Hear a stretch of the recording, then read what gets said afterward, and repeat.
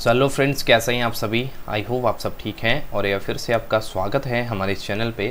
दोस्तों, आज की वीडियो के अंदर हम लोग डिस्कस करने जा रहे हैं अपने फाइनेंशियल अकाउंटिंग के कुछ इंपॉर्टेंट एम को और फ़र्स्ट वीडियो हम लोग इसके अंदर प्रोवाइड कर रहे हैं अपने नए एमसीक्यू सीरीज़ की। प्रीवियसली हम लोगों ने काफ़ी एमसीक्यू डिस्कस किए थे, जो कि अभी मेरे यूट्यूब चैनल पर अवेलेबल भी हैं, उनको भी आप चेकआउट कर सकते हैं। उसमें काफ़ी हमने ट्वेंटी प्लस वीडियोस उसकी करी हुई है तो वो चेकआउट कर लीजिए। रिवीजन वीडियोस भी आपको यूट्यूब पे मिल जाएँगी। और इसके अलावा जो हम लोग न्यू सीरीज़ को हमने लॉन्च किया है इसको हम जो हमारा कंटेंट है सो सलेबस है उसके अकॉर्डिंग हम लोग इसके अंदर एम सी क्यू को अटैम्प करने की कोशिश करेंगे जिसको हम बेसिक से स्टार्ट करेंगे हाइएस्ट तक हम लोग इसके अंदर जाएँगे।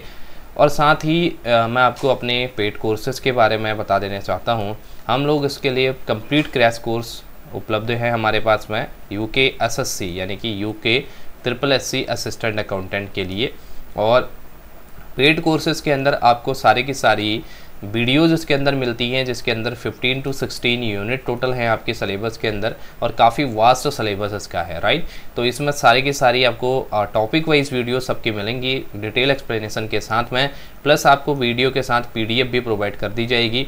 और इंस्टेंटली पीडीएफ भी आपको वीडियो के संग मिल जाएगी। इस तरीके से हम लोग इसके अंदर प्रिपरेशन करते हैं। तो पेड कोर्सेज के लिए आप इंक्वायरी कर सकते हैं, जिसके लिए आप मेरे व्हाट्सअप नंबर पे कांटेक्ट कर सकते हैं। व्हाट्सअप नंबर मैं आपको दे रहा हूँ eight three nine four nine four eight one three seven इस नंबर पर कांटेक्ट करके आप अपनी क्वेरीज को पूछ सकते हैं कोर्स के रिगार्डिंग काफ़ी नोमिनल फ़ीस इसके लिए हमने रखी हुई है, ताकि मैक्सिमम स्टूडेंट इसका बेनिफिट ले पाएँ। और अपनी तैयारी को काफ़ी अच्छे से यहाँ पे कर सकते हैं।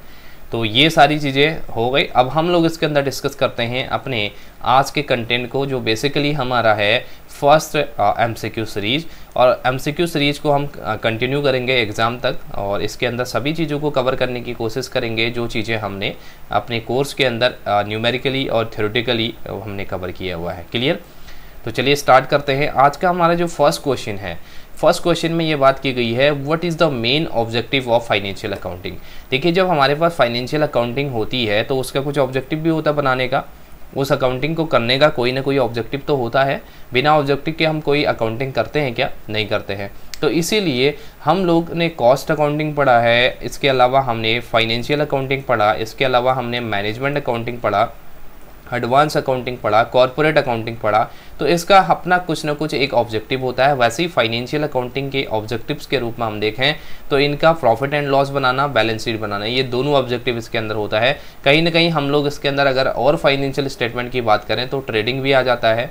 ट्रेडिंग अकाउंट हो गया पी एन एल अकाउंट हो जाता है, और साथ ही इसके अंदर हम लोग बात करते हैं अपने बैलेंस शीट की और कैश फ्लो स्टेटमेंट ये चार तरह के स्टेटमेंट इसके अंदर बनते हैं, जो कि मैंडेटरी होते हैं एक ज्वाइंट स्टॉक कंपनी को बनाना अकॉर्डिंग टू कंपनीज़ एक्ट 2013 तो ये बात आपको ध्यान में रखनी है। इस केस में आपको दो ही चीज़ें दी गई हैं both P N L and trial balance इसके अंदर सही आंसर बनेगा, क्योंकि ट्रायल बैलेंस तो जस्ट आपका एक स्टेटमेंट ऑफ़ अकाउंट्स होता है, ये आपका कोई अकाउंट बेसिकली नहीं होता, ये जैसे statement of summary of accounts आपका होता है। तो इस तरीके से आंसर इसके अंदर बन जाएगा option number C next question की बात करें according to which concept the owners are consider to be different from the business अब ये काफ़ी कॉमन क्वेश्चन होता है, जिसके अंदर हम एक साइड बात करते हैं, एक बिजनेसमैन की मीन्स एक बिज़नेस ओनर की, और दूसरी तरफ़ हम इसके अंदर बात करते हैं, एक बिज़नेस की, यानी कि बिज़नेस एंटिटी की। और इन दोनों को हम सेपरेटली यहाँ पे मेंटेन करते हैं मतलब सेपरेटली हम इनको ट्रीट करने का काम करते हैं। क्यों ट्रीट करते हैं? क्योंकि इसके अंदर एक कंसेप्ट चलता है, जिसको हम लोग बोलते हैं बिज़नेस एंटिटी कंसेप्ट या सेपरेट लीगल एंटिटी कंसेप्ट भी इसको बोला जाता है। इसके अंदर बात की जाती है, अगर आपका बिज़नेस के अंदर आपका ओनर कैपिटल दे रहा है तो वो कैपिटल आपके बिज़नेस के लिए एक लाइबिलिटी की फॉर्म में यहाँ पे क्रिएट हो जाती है, क्योंकि इस कैपिटल को वापस भी करना है। साथ में अगर बिजनेसमैन आपके बिज़नेस से कुछ ले रहा है तो इसको जैसे हम लोग ड्राइंग बोलते हैं तो ये ड्राइंग हो गई तो ये ड्राइंग पे आप इंटरेस्ट भी चार्ज करेंगे और ये ड्राइंग का जो पैसा है वापस देगा। ठीक है? तो इस तरीके से इसके अंदर चीज़ें होती हैं मतलब इन दोनों को हम लोग सेपरेटली इसके अंदर चार्ज करते हैं सेपरेटली हम ट्रीट करते हैं।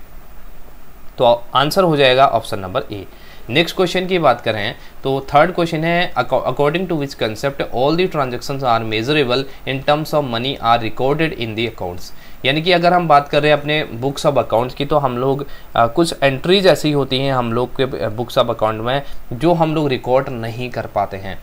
बुक्स और अकाउंट में रिकॉर्ड करने का मतलब ही नहीं है उन एंट्री उन ट्रांजेक्शन्स का बेसिकली क्योंकि वो क्वालिटेटिव नेचर के होते हैं। क्वालिटेटिव नेचर का क्या मतलब है? जैसे हमने किसी के बिहेवियर की हम लोग मानना बात कर रहे हैं। अगर हम किसी के बिहेवियर की बात कर रहे हैं, किसी के परसेप्शन की हम लोग बात कर रहे हैं, या इसके अलावा हम किसी के एटीट्यूड की बात कर रहे हैं तो ये सारी चीज़ें क्या है? ये आपके एक तरीके के क्वालिटेटिव नेचर के टर्म्स हैं। इनको क्या हम बिज़नेस के अकाउंट्स में रिकॉर्ड कर सकते हैं? ये आपका क्वेश्चन आता है तो नहीं कर सकते इनको रिकॉर्ड हम लोगों को कम से कम ऐसी चीज़ों को अपनी बिज़नेस ट्रांजेक्शन्स में रखनी पड़ती है, जिनको हम मनी के टर्म्स में मेजर कर पाए। अब वो मनी मतलब करेंसी में किसी में भी हो सकता है रुपीज़ में हो सकता है डॉलर में हो सकता है पाउंड में हो सकता है, किसी भी तरीके से वो यहाँ पे हो सकता है। तो उसके अंदर ये बात की जाती है इसको हम लोग बोलते हैं मनी मेज़रमेंट कंसेप्ट ठीक है? क्या इन चीज़ों को हम यहाँ पे रिकॉर्ड नहीं कर सकते हैं। चलिए, फिर हमारे पास आंसर हो जाएगा ऑप्शन नंबर सी इसका सही। फिर नेक्स्ट क्वेश्चन हमारे पास में है वाइल पुटिंग द वैल्यू और price of an entity in financial record the lowest price is recorded not the current price और current market value is this is known as हमारे पास में दो चीज़ें होती हैं, जब भी फाइनेंशियल अकाउंट हम लोग बनाते हैं, अपने रिकॉर्ड करते हैं, अपनी वैल्यू को। और मैं स्टॉक की वैल्यू को इसके अंदर कंसिडर कर लेता हूँ तो स्टॉक की वैल्यू को कंसिडर करने के हमारे पास दो मेथड है। एक तो हम करंट प्राइस पे इसको करें, एक हम लोग इसको मार्केट प्राइस पे करें। ये दो ऑप्शन हमारे पास होते हैं। लेकिन हम लोग क्या करते हैं, एक कंसेप्ट के थ्रू हम लोग कहते हैं, इन दोनों में से जो लोवेस्ट वैल्यू है, उस पर हम लोगों को अपने स्टॉक को शो करना चाहिए। क्यों करना चाहिए? कौन सा कंसेप्ट कहता है? तो ये है आपके पास में कंजर्वेटिज्म कंसेप्ट कंजर्वेटिज्म कॉन्सेप्ट कहता है टू प्ले सेफ़ यानी कि ये सेफ़ जो बिज़नेस है वो करने की बात यहाँ पे करता है। तो सीधी सी बात इसके अंदर होती है कि हम लोगों को अपनी लोएस्ट वैल्यू को दिखाना है। क्योंकि लोएस्ट वैल्यू दिखाएँगे तो अपर वैल्यू आपके जितने में मिल जाएगा वो आपके लिए बेनिफिट ही है। क्योंकि एक लेवल से ज़्यादा जो आपको रिसीव हो रहा है तो सीधी सी बात है आपके लिए वो बेनिफिशियल होता है। तो ये बात इसके अंदर की जाती है। क्लियर हो गई बात? तो ये चीज़ें इसके अंदर हो गई। फिर हम इसके अंदर अगर बात करें कि अगर हम लोगों ने ज़्यादा वैल्यू दिखा दी तो क्या होगा?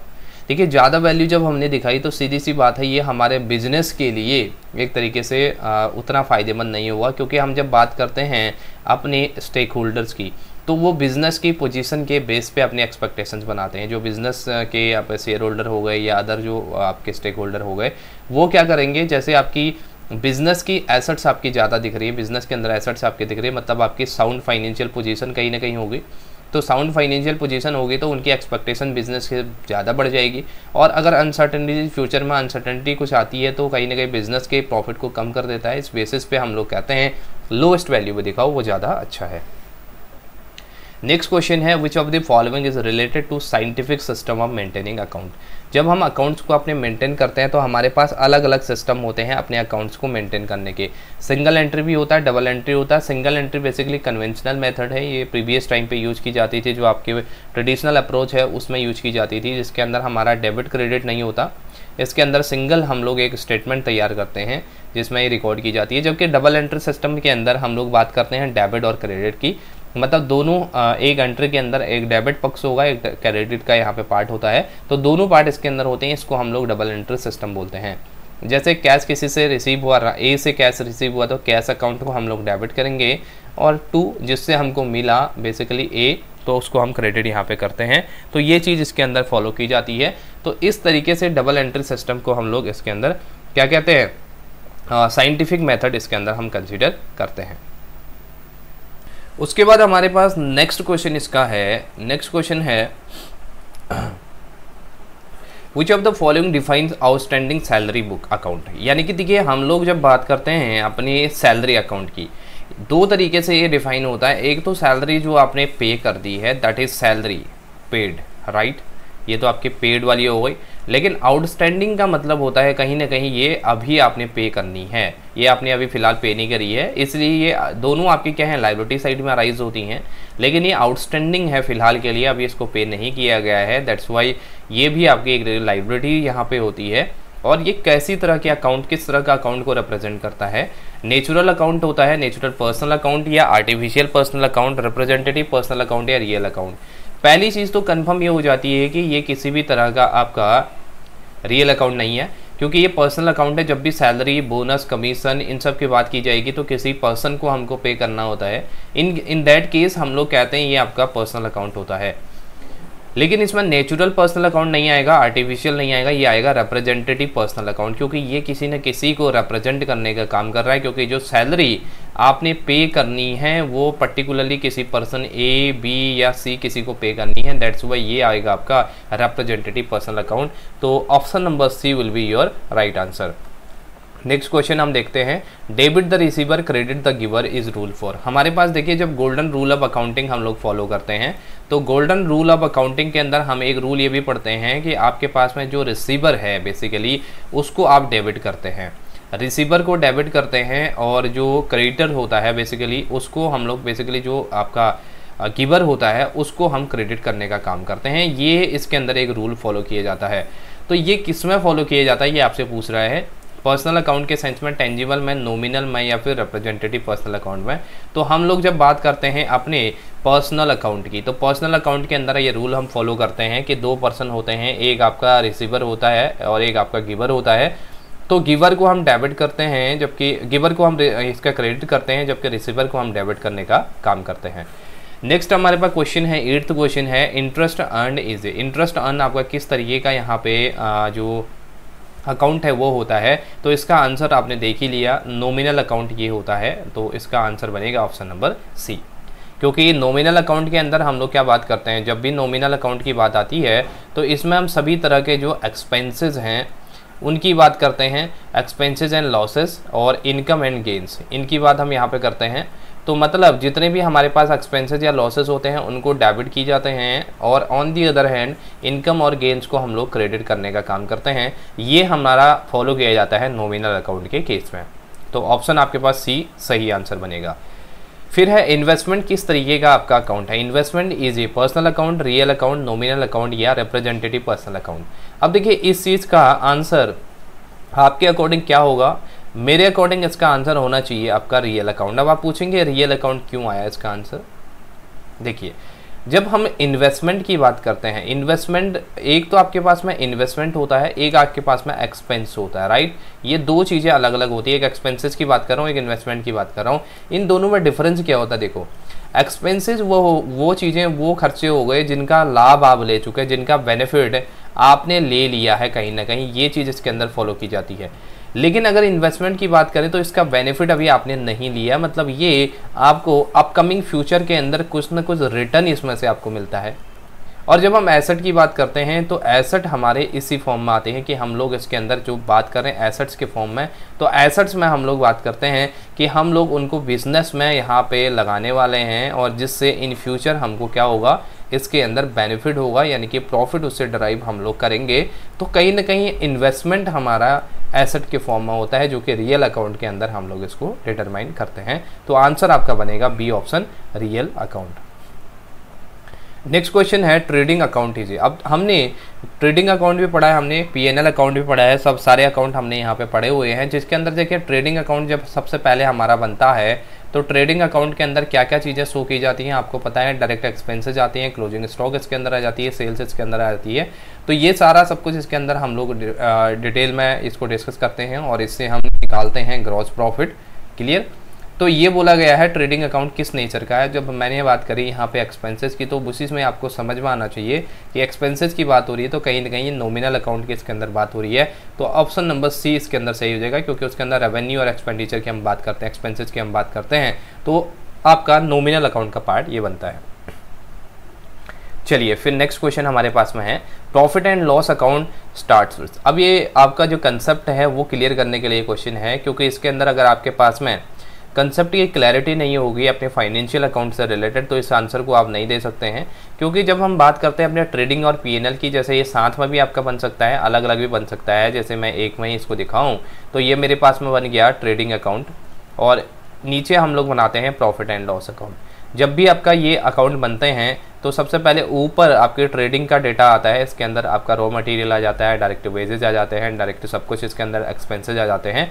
कैरीज इनवर्ड ये सारी चीज़ें फिर इसके अंदर बाई सेल्स और फिर आप इसके अंदर डायरेक्टली क्लोजिंग स्टॉक वो सब कुछ लिखते हैं। तो फिर आप इसके अंदर निकालते हैं ग्रॉस प्रॉफिट राइट ये ग्रॉस प्रॉफिट आपका इससे निकल गया। फिर ये ग्रॉस प्रॉफिट आपका चले जाता है कहाँ पे? यहाँ पे आ जाता है। और इस ग्रॉस प्रॉफिट से हम लोग क्या करते हैं? फिर अपने पी एन एल अकाउंट को बनाना स्टार्ट करते हैं। इसमें सारे डेबिट में हम इनडायरेक्ट एक्सपेंसेस को शो करते हैं। फिर हम लोग नेट प्रॉफिट निकालते हैं। तो ये पूरा का पूरा मेथड फॉलो होता है तो सीधी सी बात इसके अंदर हो गई कि ग्रॉस प्रॉफिट से आपका profit and loss account start होता है। मतलब ओपनिंग बैलेंस इसके अंदर किसकी रहती है? ग्रॉस प्रॉफिट की, जो हमने कैलकुलेट किया है अपने ट्रेडिंग अकाउंट से।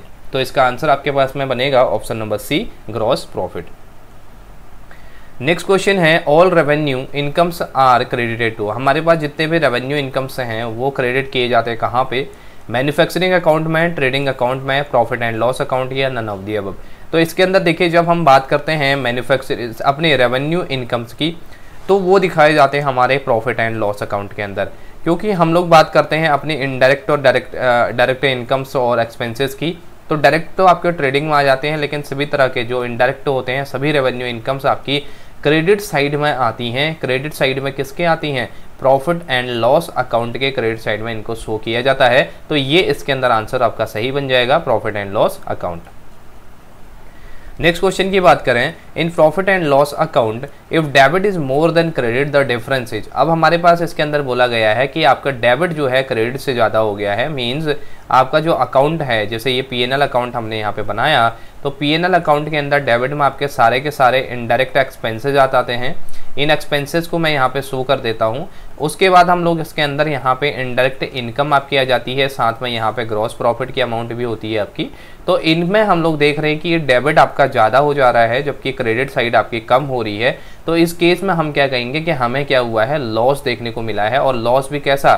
नेट लॉस इसके अंदर हमको हुआ है, क्योंकि ग्रॉस की हम इसके अंदर बात नहीं कर रहे। तो आंसर आपका बनेगा इसके अंदर सही वाला बी आंसर आपका सही बनता है। क्योंकि डेबिट आपका ज़्यादा इसके अंदर हुआ है एज कंपेयर टू क्रेडिट चलिए तो ये आपका इसके अंदर आंसर बनता है। ऑप्शन नंबर बी यहाँ पे ए गलती से हो गया, इसको बी कर लीजिएगा, सही कर लीजिएगा इसको। उसके बाद नेक्स्ट क्वेश्चन की अगर हम बात करते हैं तो assets which are acquired and held permanently and used in the business with the objective of making profit is known as हमारे बिज़नेस के अंदर अलग अलग तरह की एसेट्स होती हैं। जब भी हम एसेट्स की वाइफरकेशन इसके अंदर करते हैं तो एसेट्स दो तरीके से मेजरली डिफाइन किया जाता है। एक तो हमारे पास में होता है फिक्स्ड एसेट और एक हमारे पास में होते हैं करंट एसेट इसके अंदर भी वाइफरकेशन की जाती है करंट के अंदर भी एक पार्ट आपका लिक्विड एसेट का भी होता है, ये चीज़ भी आपको पता होगी। ये हमने डिस्कस भी किया था। फिक्स्ड एसेट हमारा लॉन्ग टाइम पीरियड के लिए होता है लॉन्ग टर्म के लिए होता है तो सीधी सी बात है, हम इसके अंदर यहाँ पे भी बात की गई है परमानेंटली हेल्ड करने की, जैसे आपके पास में लैंड होती है, वैसे ही आपके पास में बिल्डिंग होती है, या इसी तरीके से मशीन आपके पास में होती है, या आपके आपके पास प्लांट होता है तो ये सारे प्लांट और ये सब कुछ आपके पास में क्या है, एक तरीके के फिक्स्ड फिक्स्ड नेचर के एसेट्स होती हैं, और यहाँ पे आंसर भी आपका सही बनेगा fixed asset option number A तो चलिए, फिर नेक्स्ट क्वेश्चन हमारे पास होता है फिफ्टीन क्वेश्चन है हमारे पास में which of the following asset have definite physical share और आइडेंटिटी एंड एग्जिस्टेंस यानी कि यहाँ पे बोला गया है, कौन से ऐसे आपके एसेट्स हैं, जिनकी एक तो आपके पास में फ़िज़िकल शेयर है मतलब फिजिकली एग्जिस्टेड है, दूसरा आइडेंटिटी और एग्जिस्टेंस इनकी यहाँ पे है तो सीधी सी बात है, इसको हम बोलते हैं टेंजिबल एसेट जब हम फिक्टिशियस एसेट करंट एसेट और इंटेंजिबल एसेट्स की बात करते हैं तो दो सबसे मेन कैटेगरी जब हम बात करते हैं इसके अंदर टेंजिबल और इंटेंजिबल मतलब टेंजिबिलिटी के बेस पे या एग्जिस्टेंस के बेस पे तो इंटेंजिबल एसेट्स वो एसेट्स होती हैं जिनकी आ, हम लोग बिज़नेस के अंदर एग्जिस्टेंस होती है लेकिन फ़िज़िकल एग्जिस्टेंस नहीं होती है। जैसे हम लोग इसके अंदर बात कर सकते हैं गुडविल हो गया हमारे पास में कॉपीराइट हो गया हमारे पास में या इसके अलावा हमारे पास में, इसके अलावा कॉपीराइट गुडविल पेटेंट ये सारी चीज़ें जो हैं आपके पास में, ये आपके इंटेंजिबल एसेट के फॉर्म में होती हैं। जबकि टेंजिबल एसेट वो एसेट होती हैं जो हमको दिखती है, जिसको हम छू सकते हैं, जिसको हम देख सकते हैं एड ऑन ये सारी चीज़ें इसके अंदर हो गई। फिर नेक्स्ट क्वेश्चन की बात करते हैं इसके अंदर तो आउटस्टैंडिंग एक्सपेंसेस क्या है आपसे पूछा गया है? आउटस्टैंडिंग एक्सपेंस लाइबिलिटी है इनकम है एसेट है, या फिर नन ऑफ़ दी अब तो देखिए, हमने पहले ही बात कर ली है जो आउटस्टैंडिंग लाइबिलिटीज़ आपकी होती हैं, ये आउटस्टैंडिंग सॉरी आउटस्टैंडिंग एक्सपेंसेस जो होते हैं, ये आपकी यहाँ पे लाइबिलिटीज़ होती हैं। तो आउटस्टैंडिंग आपकी लाइबिलिटीज़ के फॉर्म में आ रही है सही आंसर आपका इसके अंदर बनेगा liability which is option number A ठीक है? चलिए नेक्स्ट क्वेश्चन की अगर बात करें interest on capital is a business can be defined as यानी कि यहाँ पे बोला गया है इंटरेस्ट ऑन कैपिटल बिज़नेस में किस चीज़ में डिफाइन किया जाता है? एक्सपेंस के तौर पे इनकम के तौर पे लाइबिलिटी के तौर पे या एसेट के तौर पे, जब भी हम बात करते हैं अपने कैपिटल की, देखिए हमें अलग अलग सोर्सेज से कैपिटल यहाँ पे मिलती है तो सीधी सी बात है, इस पर हम लोगों को क्या देना पड़ता है? इंटरेस्ट की पेमेंट भी करनी पड़ेगी जब हमने डेट से पैसा लिया है। तो ये आपका एक तरीका क्या है? एक्सपेंस होता है और ये हम लोग इसके अंदर एक्सपेंस के तौर पे इसको ट्रीट करते हैं तो आंसर आपका सही बनेगा option number A expense next question है the ratio which reflect managerial efficiency in handling the asset in यानी कि आपको बोला गया है कि आप जो आपकी मैनेजरियल इफिशियंसी है मतलब कितनी मैनेजरियल इफिशियंसी आपकी है कार्य क्षमता आपकी मैनेजरियल कैसी है एसेट को हैंडल करने के रिस्पेक्ट में वो कौन सा रेशियो दिखाता है? टर्नओवर रेशियो दिखाता है प्रॉफिटेबिलिटी रेशियो दिखाता है शॉर्ट टर्म सॉल्वेंसी रेशियो या नन ऑफ़ दी अब तो इसका जो सही आंसर बनेगा ऑप्शन नंबर ए बनेगा टर्नओवर रेशियो इसको रिप्रेजेंट करने का काम करता है, जिसके अंदर हम एसेट टर्नओवर रेशियोज की बात करते हैं कि हमारे जो हैंडलिंग हो रही है एसेट्स की, कितनी इफिशियंटली और इफेक्टिवली हो रही है, ये इसके अंदर बात की जाती है। तो ऑप्शन आपका ए सही इसके अंदर बनेगा। नेक्स्ट क्वेश्चन की बात करें तो interest on capital is added with जब हम इंटरेस्ट ऑन कैपिटल की बात करते हैं तो इंटरेस्ट ऑन कैपिटल किसमें ऐड किया जाता है, ये आपसे पूछा गया है। तो जब हम कैपिटल की बात करेंगे तो इसमें इंटरेस्ट को हम लोग ऐड करते हैं कैपिटल में। यानी कि इंटरेस्ट ऑन कैपिटल ऐड किया जाएगा आपके कैपिटल में। क्लियर तो ऑप्शन ए आपका इसके अंदर सही आंसर हो जाएगा। नेक्स्ट क्वेश्चन है the ratio which reveal the final result of the managerial policies and performances अब देखिए, हमारे पास क्या है, जब हमने मैनेजमेंट अकाउंटिंग पढ़ी थी, उसके अंदर हमने ये भी डिस्कस किया था कि हमारे पास में जो पॉलिसीज़ बनाने का काम होता है राइट ये पॉलिसीज़ बनाने का काम हमारे पास में अपर लेवल मैनेजमेंट का होता है या फिर टॉप लेवल मैनेजमेंट इसको हम लोग बोलते हैं। तो इनका ये काम होता है कहीं ना कहीं इस चीज़ को बिज़नेस में रेगुलेट करने का काम, फिर अलग अथॉरिटीज़ का होता है, जैसे मिडिल लेवल हो गई, फिर आपके लोअर लेवल हो गई, उन पर अप्लाई किया जाता है। लेकिन बनाने फॉर्मुलेट करने का काम कहीं ना कहीं मैनेजरियल लेवल पर होता है। अब उसके बाद अगर हम इसके अंदर बात करते हैं कि आपको कैसे पता चलेगा किसी भी बिज़नेस की कि उनकी मैनेजरियल पॉलिसीज़ अच्छी रही है, उनकी परफॉर्मेंस काफ़ी यू नो अच्छी रही है, कैसे पता चलेगा? तो वो चलेगा प्रॉफिटेबिलिटी के बेस पे। यानी कि हमारा प्रॉफिट किस नेचर का है? प्रॉफिट पहले कितना था, अभी कितना है? ये कहीं ना कहीं इस पर डिपेंड करता है। तो प्रॉफिटेबिलिटी रेशियो जो हमने पढ़े हैं, जैसे नेट प्रॉफिट हो गया ग्रॉस प्रॉफिट हो गया ऑपरेटिंग प्रॉफिट हो गया, इसके अंदर इन रेशियोज की कैलकुलेशन की जाती है। इसके बेसिस पे देखा जाता है बिज़नेस के अंदर कि आपकी इफेक्टिवनेस कितनी रही, आपके पॉलिसीज़ की या फिर आपके जो रूल्स एंड रेगुलेशन थी उनकी। तो option number B is going to be right answer next question की अगर बात करें तो ट्वेंटी ट्वेंटी फ़र्स्ट क्वेश्चन है which of the following matches with the fixed asset ratio अगर हम फिक्स्ड एसेट रेशियो की बात करते हैं, किससे मैच करता है? Short term solvency ratio long term solvency ratio profitability ratio या फिर टर्नओवर रेशियो तो इसके अंदर सीधी सी बात है, हम लोग फिक्स्ड एसेट की बात कर रहे हैं। तो फिक्स्ड एसेट की बात होती है तो इसको हम ऑप्शन नंबर बी से देखते हैं, जो कि है आपके पास में लॉन्ग टर्म सॉल्वेंसी अब आपके दिमाग में क्वेश्चन आना चाहिए कि, सर सॉल्वेंसी क्या होता है? वैसे तो हमने इस रेशियोज को पढ़े हैं सॉल्वेंसी रेशियोज को पढ़े हैं हमने अलग अलग जिसके अंदर हमने लिक्विडिटी रेशियो पढ़े प्रॉफिटेबिलिटी रेशियो पढ़े सॉल्वेंसी रेशियो पढ़े, ये सब कुछ हमने पढ़ा। जब हम बात करते हैं सॉल्वेंसी की तो इसका मतलब होता है कि लॉन्ग टर्म की ऑब्लिगेशन जो लाइब्रिटीज़ बेसिकली आपके पास हैं उनका कितना प्रॉम्पली आप पेमेंट कर पाते हैं, ये आपकी सॉल्वेंसी को डिफाइन करता है क्लियर तो इसके अंदर हम लोग बात करते हैं अपनी फिक्स्ड एसेट की तो कहीं ना कहीं लंबे टाइम पीरियड की हम बात कर रहे हैं तो ये लॉन्ग टर्म सॉल्वेंसी को डिफाइन करता है। चलिए, फिर नेक्स्ट क्वेश्चन हमारे पास में है। The ratio which determines the profitability from the shareholders point of view अब इसके अंदर देखिए, इस क्वेश्चन को डिटेल में गौर से आपने पढ़ना है। इसके अंदर देखिए share holders point of view लिखा हुआ है। अगर इतना क्वेश्चन आपने स्किप कर दिया तो आपका आंसर डेफिनेटली गलत गलत इसके अंदर हो जाएगा। क्योंकि आप इतना ही पढ़ेंगे ratio is determine the profitability और सीधे साहब या ग्रॉस प्रॉफिट निकाल करके आएँगे, या तो ऑपरेटिंग प्रॉफिट करके आ जाएँगे। या नेट प्रॉफिट अगर दिया होगा तो सबसे पहले नेट प्रॉफिट को करेंगे। लेकिन इसके अंदर बोला है शेयर होल्डर्स के पॉइंट ऑफ़ व्यू से उसकी प्रॉफिटेबिलिटी रेशियो कौन सी होती है? तो देखिए, इसके अंदर return on investment gross profit ratio return on shareholders fund या ऑपरेटिंग तो इसका सही आंसर बनेगा ये वाला option number C return on shareholders fund return on shareholders fund का ये मतलब होता है जो आपके शेयर होल्डर्स हैं बेसिकली जिन्होंने आपके बिज़नेस के अंदर पैसा दिया हुआ है, अपनी कैपिटल दी हुई है, अपना फंड दिया हुआ है तो उस पर कुछ वो क्या चाहते हैं? रिटर्न चाहते हैं। और वो रिटर्न आपको बेसिकली देना पड़ता है और ये एक्सपेक्टेड रिटर्न भी होता है इनके केस में। तो सीधी सी बात इसके अंदर ये हो गई कि जो कैपिटल उन्होंने लगाई है, उस कैपिटल के बदले में आपसे कुछ वो रिटर्न चाहते हैं, वही रिटर्न क्या होता है? Return on share holders fund ठीक है? ऑप्शन सी सही हो जाएगा। फिर नेक्स्ट क्वेश्चन है इसके अंदर the ratio which shows the proportions of profit retained in the business out of the current year profit is यानी कि करंट ईयर के प्रॉफिट में से कुछ पार्ट जो हम यहाँ पे बिज़नेस के अंदर प्रपोर्सन के फॉर्म में रिटेन करके रखते हैं, उसको क्या बोला जाता है? रिटेन अर्निंग रेशियो बोलते हैं पे आउट रेशियो बोलेंगे अर्निंग पर सीयर बोलेंगे या नन ऑफ़ दी अब देखिए, मैंने आपको एक चीज़ बताई थी, जिसके अंदर मैंने कहा था, अगर मेरे पास प्रॉफिट है और प्रॉफिट भी मैं अर्निंग आफ्टर टैक्स ले रहा हूँ ई का प्रॉफिट मैं लेता हूँ तो इसके मैं दो पार्ट करूँगा। एक पार्ट मैं क्या करूँगा इसके अंदर कि आपको डिविडेंड मैं शेयर होल्डर्स के बीच में दे दूँगा और उनको डिविडेंड बांट दूँगा। इसको हम लोग बोलते हैं पे आउट रेशियो राइट ये हो गया पे आउट रेशियो जिस रेशियो में बांटा जाएगा, उसको पे आउट रेशियो बोल देंगे।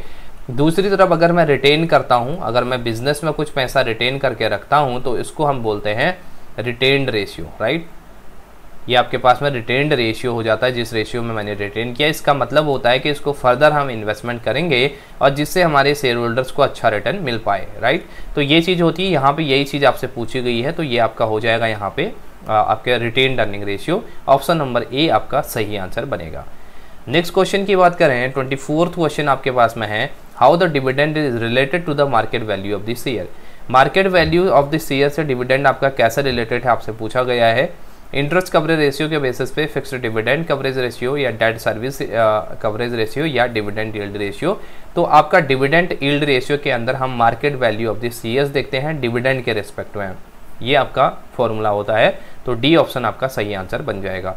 नेक्स्ट क्वेश्चन की बात करें इसके अंदर which ratio is calculated to ascertain the efficiency of inventory management in terms of capital investment अब आपसे इसके अंदर बोला गया है कि आप इसके अंदर इन्वेंट्री मैनेजमेंट को देखते हैं, उसकी इफिशियंसी को देखते हैं, किसके टर्म्स में? कैपिटल इन्वेस्टमेंट में।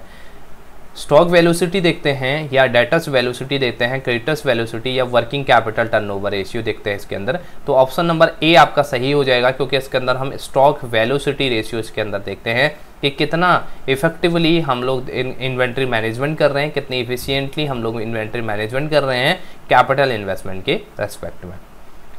नेक्स्ट क्वेश्चन की बात करें इसके अंदर, आपके पास में है which ratio measures the number of the times the receivables are rotated in years in terms of sales यानी कि आपसे बोला गया है कि रिसीवेबल्स आपको कितने मिलने वाले हैं। सीधी सी बात इसके अंदर ये होती है कि अगर हम इसके अंदर बात करते हैं अपने डेटर्स की ये हमारे पास डेटर्स हैं और इन डेटर से हमें पेमेंट कब कब मिलेगी? एक साल के अंदर मतलब एक ईयर के अंदर कितनी बार हमें डेटर से पेमेंट मिलती है? वो साइकिल को हम यहाँ पे कहते हैं, ये जो साइकिल आपका है, क्या उसको बोला जाएगा? क्या रेशियो बोला जाएगा? Stock turnover debtors turnover creditors velocity period या वर्किंग कैपिटल टर्नओवर तो ये हमने डेटर टर्नओवर रेशियो के अंदर हमने देखा था कि आपका डेटर्स टर्नओवर रेशियो में कितना बेसिकली एक साल के अंदर अंदर आपको डेटर से पैसा रियलाइज़ होता है। नेक्स्ट क्वेश्चन है current assets minus current liability क्या होती है? ये आप सबको पता है कि current assets minus current liability working capital होती है। लेकिन एक क्वेश्चन जो कमेंट बॉक्स में आप बताएँगे, जिन्होंने सीरियसली इस वीडियो को देखा है करंट वर्किंग कैपिटल के दो पार्ट होते हैं राइट वर्किंग कैपिटल एक आपके पास में ग्रॉस वर्किंग कैपिटल होती है और एक आपके पास में होती है नेट वर्किंग कैपिटल ये दो पार्ट होते हैं। तो आपको बताना है कि current assets minus current liability कौन सी वर्किंग कैपिटल होती है? क्या इसको ग्रॉस वर्किंग कैपिटल कहेंगे या नेट वर्किंग कैपिटल कहेंगे? अगर इसको ग्रॉस वर्किंग कैपिटल कहेंगे तो फिर नेट वर्किंग कैपिटल किसे बोलेंगे? अगर इसको नेट वर्किंग कैपिटल कहेंगे तो फिर ग्रॉस वर्किंग कैपिटल कैसे कैलकुलेट होता है? इसको आपको कमेंट बॉक्स में ज़रूर बताना है। तो इसका आंसर बनेगा option number B next question की बात हम करते हैं। The ratio establish the relationship between fixed asset and long term fund आपको बोला गया है ऐसा रेशियो जो स्टैब्लिश करता है आपके फिक्स्ड एसेट और लॉन्ग टर्म के जो फंड हैं, उसके बीच में रिलेशनशिप को कौन दिखाता है? Current ratio fixed asset ratio fixed asset turnover ratio debt equity ratio तो ये दिखाता है ऑप्शन नंबर बी आपका fixed asset ratio option number B आपका सही आंसर बन जाएगा। नेक्स्ट क्वेश्चन हमारे पास में है a high capital gearing ratio indicates यानी कि जितना आपका कैपिटल गियरिंग रेशियो ज़्यादा होगा उसका मतलब क्या है? Over capitalisation under capitalisation borrowed capital या लॉन्ग टर्म फंड्स तो जित हम लोग हाई कैपिटल गियरिंग रेशियो का मतलब होता है अंडर कैपिटलाइजेशन कहने का मतलब क्या है? गियरिंग का मतलब इसके अंदर हाँ, आप लोग एक चीज़ समझना गियरिंग का मतलब होता है जिसके अंदर हाई कैपिटल गियरिंग का मतलब हम लोग डेट के पोर्शन को ज़्यादा देख रहे हैं और इक्विटी के पोर्शन को हम इसके अंदर कम यूज़ कर रहे हैं। ये चीज़ होती है, जितना आपकी डेट का पोर्शन ज़्यादा होगा, हम उसको उतना ही हाई कैपिटल गियरिंग फंड यहाँ पे फॉर्म यहाँ पे बोलेंगे और इक्विटी का पोर्शन उसके अंदर प्रोपोर्शनेटली कम रहेगा। उसके बाद नेक्स्ट क्वेश्चन हमारे पास में है low turnover the stock ratio indicates यानी कि हमारे पास में जब हम लोग बात करते हैं लो टर्नओवर की स्टॉक रेशियो की तो ये क्या दिखाता है आपके पास? सॉल्वेंसी पोजीशन मोनोपोली सिचुएशन को, या ओवर इन्वेस्टमेंट इन इन्वेंट्री या लिक्विडिटी पोजीशन देखिए, जब भी हम लो टर्नओवर ऑफ़ स्टॉक कह रहे हैं मतलब लो इन्वेंट्री टर्नओवर की हम इसके अंदर बात करें सीधी सी बात है कि स्टॉक से आपको बेसिकली उतना ज़्यादा रियलाइज़ नहीं हो पा रहा वैल्यू यानी कि उतना टर्नओवर आपको नहीं हो पा रहा है तो कहने का मतलब है ओवर इन्वेस्टमेंट हो गई है इन्वेंट्री के अंदर। क्योंकि जितनी इन्वेस्टमेंट आपने इन्वेंट्री पे करी है, उतनी तो आपको इसके अंदर नहीं मिल पा रहा है मतलब आपको टर्नओवर आपका कम है। तो इस केस में बोला जाता है कि आपका ओवर इन्वेस्टमेंट है इन्वेंट्री के अंदर। तो ऑप्शन नंबर सी इस केस में आपका सही आंसर बन जाएगा। नेक्स्ट क्वेश्चन देखें तो यहाँ पे है all those asset which are converted into cash in normal course of business within one year are known as यानी कि सीधी सी बात है, बहुत सिंपल सा क्वेश्चन है। इसके अंदर बोला गया है कि कौन सी ऐसी एसेट्स हैं जिनको हम within one year business course में मतलब general business day business business transaction जो हमारी होती हैं डेली के, उसमें हम लोग कन्वर्ट कर पाएँगे कैश में। उनको कौन सी एसेट बोला जाता है? फिक्स्ड एसेट बोलते हैं करंट एसेट बोलेंगे फिक्टिशियस एसेट बोलेंगे या वेस्टिंग एसेट बोलेंगे। तो इसका सही आंसर बनेगा current asset as always you know कि करंट एसेट को हम लोग एक साल के अंदर अंदर कैश में कन्वर्ट कर पाएँगे। अब मेरा आपसे क्वेश्चन है कि वेस्टिंग एसेट किसे कहते हैं। आप लोग कमेंट करके ज़रूर बताना कि वेस्टिंग एसेट किसे बोला जाता है और इसके एग्जाम्पल्स राइट तो ये आपके यहाँ पे आंसर बनेगा option number B next question है आपके लिए। Any transaction between a current account and any other current account does not affect अब देखिए, जब मैंने आपको फंड फ्लो स्टेटमेंट पढ़ाया था तो वहाँ पे मैंने आपको बताया था कि जब भी हम इनफ्लो या आउटफ्लो ऑफ़ फंड्स की बात करेंगे, एक तो आपके पास में होता है इनफ्लो और एक आपके पास में होता है आउटफ्लो ये दो चीज़ें हमने पढ़ी थी। तो इस केस में अगर हम बात करते हैं दोनों करंट ट्रांजेक्शन्स की है एक आपकी ये वाली ट्रांजेक्शन भी आपके करंट नेचर की है और दूसरी ट्रांजेक्शन भी आपकी करंट नेचर की है। तो इसके अंदर किसी भी तरह का फंड फ्लो नहीं होता, ना ही आपका इनफ्लो होता है, ना ही आपका आउटफ्लो होता है। तो इसका मतलब ये है कि does not affect funds right अब सीधी सी बात कि एग्ज़ाम्पल से समझेंगे ऐसे इसको। मैंने एग्ज़ाम्पल आपको उस समय भी दिया था, दोबारा फिर एग्ज़ाम्पल दे रहा हूँ कि इसके अंदर देखिए, हम लोग जैसे बात करते हैं कि हमको डेटर से पैसा मिला। डेटर से हमें कैश रिसीव हुआ तो देखिए डेटर भी हमारी करंट एसेट है और कैश भी हमारा करंट एसेट है। तो मान लिया जाए एक हज़ार रुपये का कैश आपको रिसीव होता है। इस केस में अगर आप देखेंगे तो कैश तो आपका एक हज़ार से बड़ा है, लेकिन डेटर भी तो एक हज़ार से आपके कम हो गए ना। वही डेटर आपके कम हो गए एक हज़ार रुपये से तो आपका नेट इफ़ेक्ट तो ज़ीरो आया। एसेट फिर भी जितनी थी उतनी ही तो रही एसेट में। या एसेट में कोई चेंज हुआ आपके? इनफ्लो आउटफ्लो तब बोलते हैं जब हमारा चेंज आता है। लेकिन इस यहाँ पर तो चेंज कुछ भी नहीं आया। हाँ ये चीज़ यहाँ से यहाँ शिफ्ट ज़रूर हो गई है। लेकिन अब ओवरऑल अगर सम करेंगे तो इसके अंदर कोई भी चेंज नहीं देखने को मिलेगा। दैट्स वाई हम इसका answer option number B tick करेंगे। चलिए नेक्स्ट क्वेश्चन है हमारे पास में। डिक्रीज इन करंट एसेट जब मैंने आपको वर्किंग कैपिटल कराया था तो working capital current assets minus current liabilities हमने बोला था। तो इसके अंदर मैंने आपको याद करने के लिए एग्ज़ाम्पल भी दिया था कि आपको ये चीज़ रटना नहीं है, आपको समझना है। अब यहाँ पे देखिए करंट एसेट में डिक्रीज करने की बात की गई इसका इफ़ेक्ट हम वर्किंग कैपिटल पे देखते हैं। देखिए, जैसे एग्ज़ाम्पल के लिए वर्किंग कैपिटल मैं मान लेता हूँ, मेरे पास टेन है राइट तो टेन है तो मुझे करंट एसेट्स को फॉर एग्ज़ाम्पल सिक्सटीन लेना पड़ेगा और करंट लाइबिलिटी सिक्स लिया तो दोनों साइड मैच कर जाएगा। टेन टेन हो गया ये। अब इस केस में मैं क्या करता हूँ करंट एसेट को डिक्रीज कर देता हूँ मीन्स कम कर देता हूँ। देखिए, ये तो आपका अभी निकालेंगे हम इसको। यहाँ पे 16 की जगह पे मैं इसको 10 कर देता हूँ। अब मैंने इसको 6 का एज इट इज़ रहने दिया तो देखिए यहाँ पे मेरे पास फोर हो गई है ये। क्या? वर्किंग कैपिटल जो मेरे पास पहले टेन थी, अब कितनी हो गई है? फोर हो गई मतलब डिक्रीज हो गई है। जैसे ही हम करंट एसेट्स को डिक्रीज करेंगे तो वर्किंग कैपिटल ऑल्सो डिक्रीजेस मतलब क्या हो गया कि decrease in current asset resulting in decreases in working capital तो ये आंसर आपके पास यहाँ पे बन जाएगा ऑप्शन नंबर बी का कि जैसे ही करंट एसेट्स में डिक्रीज करेंगे तो वर्किंग कैपिटल भी कम हो जाएगी। नेक्स्ट क्वेश्चन है decrease in the current liability अब सेम कंसेप्ट फिर से है, अगर हम working capital equal to current assets minus current liability देखते हैं तो इस केस में अब आप देखेंगे, जैसे मैंने पहले वाला एग्जांपल मैं ले लेता हूँ ten equal to sixteen minus six ले लेता हूँ अब मैं क्या करूँगा करंट लाइबिलिटी को डिक्रीज करता हूँ। देखिए अब मेरे पास में करंट एसेट सिक्सटीन का ही रहने वाला है लेकिन मैं इसको आ, करके सिक्स की जगह पे मैं इसको टू कर देता हूँ। अब मैंने टू किया तो देखिए यहाँ पे फोर्टीन हो गया है आपकी वर्किंग कैपिटल पहले जो टेन थी अभी कितनी हो गई है? फोर्टीन हो गई है। तो सीधी सी बात इसके अंदर क्या हुई कि आपने करंट लाइबिलिटी को जैसे ही कम किया वर्किंग कैपिटल आपकी बढ़ गई। और जैसे पहले क्वेश्चन में था करंट एसेट आपने क्या किया था?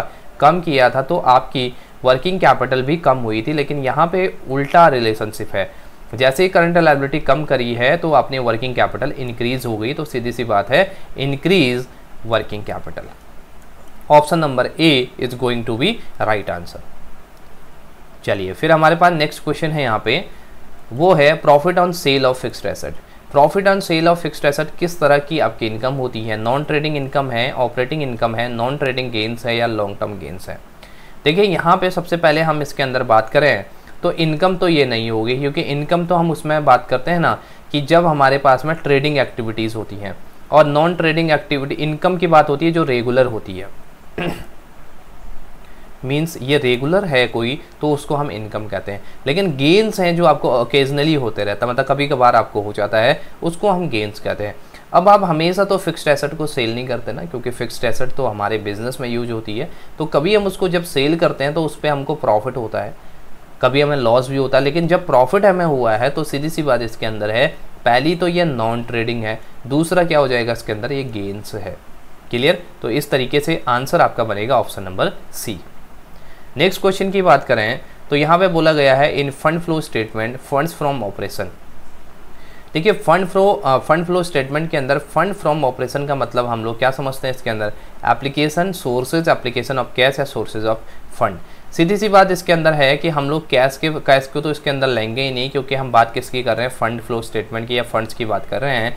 तो हमारे पास एप्लीकेशन होगा या सोर्सेज होगा तो सीधी सी बात इसके अंदर होगी कि जब हमारे फंड फ्रॉम ऑपरेशन हमें मिल रहा है तो सीधी सी बात है आप, आपके पास में सोर्सेज ऑफ़ फंड ये होगा। Option number D right answer बनेगा। नेक्स्ट क्वेश्चन है in fund flow statement outflow of funds on account of operation is यानी कि आउटफ्लो आपको बोला गया है फंड फ्लो स्टेटमेंट आउटफ्लो क्या होता है? Application of fund sources of fund application of cash या सोर्सेज ऑफ़ फंड तो कैश का तो आपका इसके अंदर भी नहीं आएगा, अब एप्लीकेशन होगा या सोर्सेज होगा। अगर आपके पास आ रहा है तो ये आपके पास में हो जाएँगे सोर्सेज के पार्ट लेकिन अगर आपके बिज़नेस से जा रहा है तो सीधी सी बात है एप्लीकेशन तो ऑप्शन नंबर ए आपका सही हो जाएगा। इसने बात करी है आउटफ्लो की। ठीक है? नेक्स्ट क्वेश्चन की बात करते हैं in fund flow statement repayment of long term loan is यहाँ पे बात की गई है कि आपके फंड फ्लो स्टेटमेंट में रीपेमेंट जब करते हैं लॉन्ग टर्म लोन की तो ये क्या है? अपने पेमेंट लोन का पेमेंट आपने किया तो इसको हम क्या कंसीडर करते हैं? एप्लीकेशन ऑफ़ फंड कंसीडर करेंगे सोर्सेज ऑफ़ कैश करेंगे एप्लीकेशन ऑफ़ कैश या सोर्सेज ऑफ़ फंड देखिए, इसके अंदर सबसे पहले तो कैश आएगा नहीं आपका और दूसरी चीज़ एप्लीकेशन ऑफ़ फंड होगा या सोर्सेज ऑफ़ फंड होगा तो सीधी सी बात है रीपेमेंट कर रहे हैं तो हमारे पास से पैसा जा रहा है। मीन्स एप्लीकेशन ऑफ़ फंड होगा ऑप्शन नंबर ए आपका सही आंसर बन जाएगा। फिर हमारे पास नेक्स्ट क्वेश्चन है in adjusted profit and loss account depreciation on fixed asset will be जब हम बात करते हैं डेप्रीसिएशन की तो डेप्रीसिएशन आपके हमेशा फिक्स्ड एसेट पे चार्ज होता है। और साथ में कुछ इंटेंजिबल एसेट पे भी चार्ज होता है, जिसको अमोटाइजेशन हम लोग बोलते हैं। तो ये फिक्स्ड एसेट पे जो डेप्रिसिएशन आपने चार्ज किया है, इसको हम कहाँ पे दिखाते हैं? प्रॉफिट एंड लॉस अकाउंट के डेबिट साइड में, क्योंकि ये हमारी इनडायरेक्ट एक्सपेंस होता है। तो यहाँ पे बात की गई है एडजस्टेड पीएनएल के अंदर हम इसको कहाँ पे दिखाएँगे? डेबिटेड मीन्स हम इसको डेबिट साइड में दिखाएँगे। तो option number A is going to be right answer next question बोला गया है cash flow analysis is based on cash flow analysis किस पे बेस होता है? कैपिटल पे फिक्स्ड एसेट पे कैश कंसेप्ट ऑफ़ फंड या वर्किंग कैपिटल पे. देखिए, जब भी कैश फ्लो स्टेटमेंट की बात की जाती है तो हम लोग कैश एंड कैश इक्विवेलेंट की इसके अंदर बात करते हैं. कैश एंड कैश इक्विवेलेंट मतलब क्या कि या तो कैश हो, या फिर ऐसी चीज़ें हो जो आपकी पर्टिकुलरली बहुत जल्दी कैश में कन्वर्ट हो जाए. जैसे मार्केटेबल सिक्योरिटीज़ होती हैं राइट तो इस केस में कैश फ्लो एनालिसिस आपका होता है कैश कंसेप्ट ऑफ़ फंड्स पे डिपेंडेंट होता है। ऑप्शन नंबर सी आपका राइट right आंसर इसके अंदर बनेगा। क्लियर चलिए, फिर नेक्स्ट क्वेश्चन हमारे पास यहाँ पे आता है इंक्रीज इन करंट एसेट अगर हम कैश फ्लो स्टेटमेंट की बात कर रहे हैं, इसमें करंट एसेट में अगर इंक्रीज होता है तो फिर क्या होता है? Increase in cash decrease in cash increase in working capital या डिक्रीज इन वर्किंग कैपिटल देखिए इसके अंदर क्या कंसेप्ट होता है। जब हम बात कर रहे हैं ना increase in current asset current asset में जब इंक्रीज की बात कर रहे हैं तो मतलब इसको मैंने आपको समझाया था कि आप इसको स्टॉक मान के चलना। मतलब करंट एसेट को स्टॉक मान के आपको चलना है। जब आपका स्टॉक बढ़ेगा तो सीधी सी बात है कि इसके अंदर हम लोग क्या करना चाह रहे हैं। कहीं ना कहीं हमने कैश ज़्यादा लगाया होगा। कैश ज़्यादा लगाया मतलब रॉ मटेरियल ज़्यादा लगा लेबर ज़्यादा लगा, खर्चा ज़्यादा हुआ हमारा मतलब कैश इसके अंदर ज़्यादा लगा तो सीधी सी बात है कि स्टॉक आपका बड़ा है। अच्छा जब स्टॉक हमारा इंक्रीज हुआ तो इसका मतलब क्या हुआ? कैश में डिक्रीज भी तो होना चाहिए। डिक्रीज इन कैश होगा, तब हमारा इंक्रीज इन करंट एसेट होगा, ये चीज़ आपको ध्यान में रखनी है तो ऑप्शन नंबर बी आपका सही आंसर बन जाएगा। नेक्स्ट क्वेश्चन बोला है इसके अंदर in cash flow statement opening balance of the bank balance is posted in which side of the statement यानी कि इसके अंदर बोला गया कि आपको ओपनिंग बैलेंस ऑफ़ बैंक कहाँ पे दिखाया जाएगा कैश फ्लो स्टेटमेंट कौन से साइड में? सोर्सेज ऑफ़ कैश होगा एप्लीकेशन ऑफ़ फंड होगा सोर्सेज ऑफ़ फंड होगा या एप्लीकेशन ऑफ़ फंड होगा। देखिए, सबसे पहली बात तो कैश फ्लो स्टेटमेंट की हो रही है तो फंड की तो बात नहीं हो रही है। अब सोर्सेज होगा या एप्लीकेशन होगा, उसकी बात आती है। तो देखिए, हमारे पास बैंक बैलेंस की ओपनिंग बात की ओपनिंग बैलेंस की बात हो रही है तो सीधी सी बात है, ये सोर्सेज ऑफ़ कैश है तो ए ए ऑप्शन आपका सही आंसर बनता है। चलिए फिर नेक्स्ट क्वेश्चन है in cash flow statement closing balance of the bank balance is posted in which side of the statement तो सीधी सी बात है ओपनिंग आपका अगर सोर्सेज ऑफ़ कैश है तो क्लोजिंग आपका एप्लीकेशन ऑफ़ कैश यहाँ पे हो जाएगा तो ऑप्शन नंबर बी आपका सही आंसर बनता है। सो so गाइज़ इस तरीके से हमने कुछ इसके क्वेश्चंस को डिस्कस किए हैं, जो कि बेसिक फंडामेंटल क्वेश्चंस थे, आपके कुछ फाइनेंशियल स्टेटमेंट से, कुछ रेशियो एनालिसिस से, कुछ कैश फ्लो और फंड फ्लो एनालिसिस से, इनसे क्वेश्चंस मैंने डिस्कस किए हैं। ये एक फाउंडेशन बनाने के लिए आपका बेसिकली इसके बाद हम अप करेंगे धीरे धीरे अपने स्टैंडर्ड को और अच्छे क्वेश्चन देखेंगे। ये क्वेश्चंस भी काफ़ी बार एग्ज़ाम में रिपीट हुए हैं। अब आपके देखिए कंसेप्ट जैसे जैसे क्लियर होते रहेंगे, आपको जो क्वेश्चन है वो इजी लगते रहेंगे। तो इजी का मतलब ये नहीं है कि एग्ज़ाम में नहीं पूछे जाते हैं। कंसेप्ट क्लैरिटी इन्हीं से मिलती है। ये बात को आपको ध्यान में रखना है। जैसे हम लोग कभी भी अगर कोई मकान आप लोग बनाते हैं ना तो मकान की सबसे पहले नींव रखी जाती है। फाउंडेशन से स्टार्ट करेंगे तो ही आप आगे फ़र्स्ट फ्लोर सेकंड फ्लोर तक पहुँचेंगे। तो इसीलिए आप बेसिक से स्टार्ट कीजिए और जो कोर्स कंटेंट मैंने आपको दिया है, उसको रिवाइज कीजिए बार बार उसको एक बार वीडियोस देखने से नहीं हुआ, क्योंकि उसके अंदर ऑलमोस्ट बहुत सारी वीडियोस हैं। तो उन वीडियोस को बार बार रिवाइज करना पड़ेगा आपको, अपने कंसेप्ट को क्लियर करना पड़ेगा और उस तरीके से उसके साथ साथ क्वेश्चंस को भी डील करना पड़ेगा। ठीक है? तो थैंक यू सो मच अगर आपको वीडियो पसंद आती है तो लाइक करना ना भूलें। और आप कोई क्वेरी है, कुछ आपको पूछना है तो कमेंट बॉक्स में भी पूछ सकते हैं। चैनल पर नए हैं तो सब्सक्राइब ज़रूर कीजिए। Bye bye take care